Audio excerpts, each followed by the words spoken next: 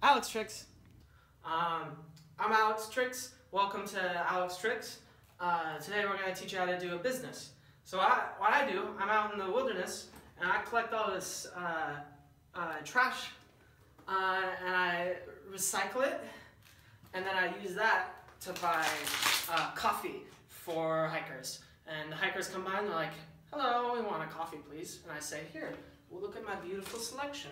Down, down here we got uh, a carton um, that needs to be refrigerated, I think.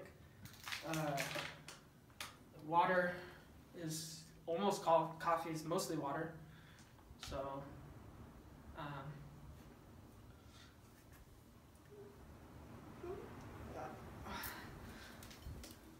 um, it doesn't make money yet, but that's the first part of business.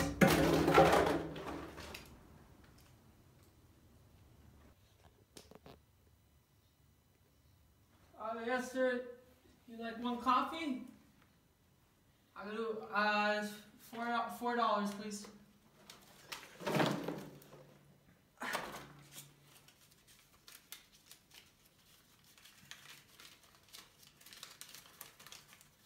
That's five.